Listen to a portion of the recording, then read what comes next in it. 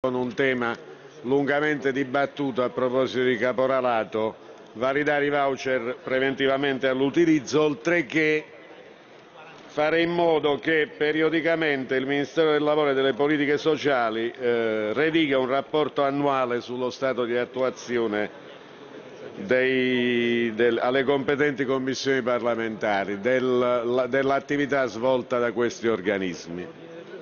Ci sembrano interventi migliorativi, condivisi da tutti coloro che hanno, da tutti i protagonisti della discussione di queste settimane.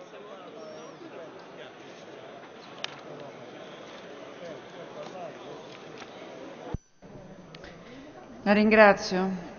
Allora, se nessun altro chiede di intervenire, dichiaro aperta la votazione sull'8.8. I pareri li ho già dati.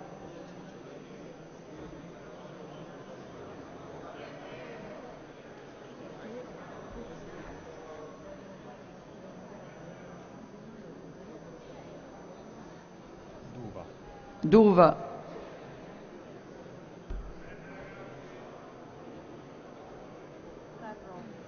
Carrozza.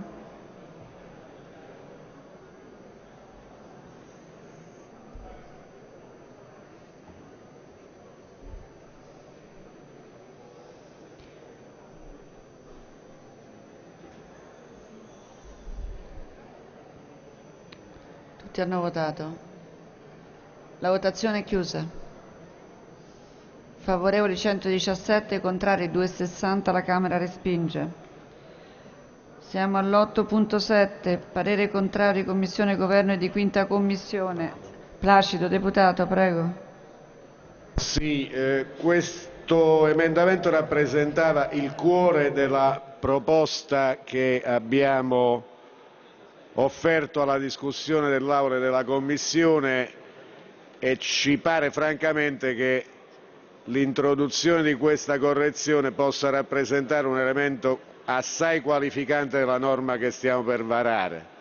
Gli indici di congruità sono uno strumento che supporta le attività ispettive e che consente, con periodici aggiornamenti prodotti dal Ministero del Lavoro, di valutare appunto la congruità settore per settore delle, dei beni e dei servizi impiegati in rapporto al numero di ore lavorate.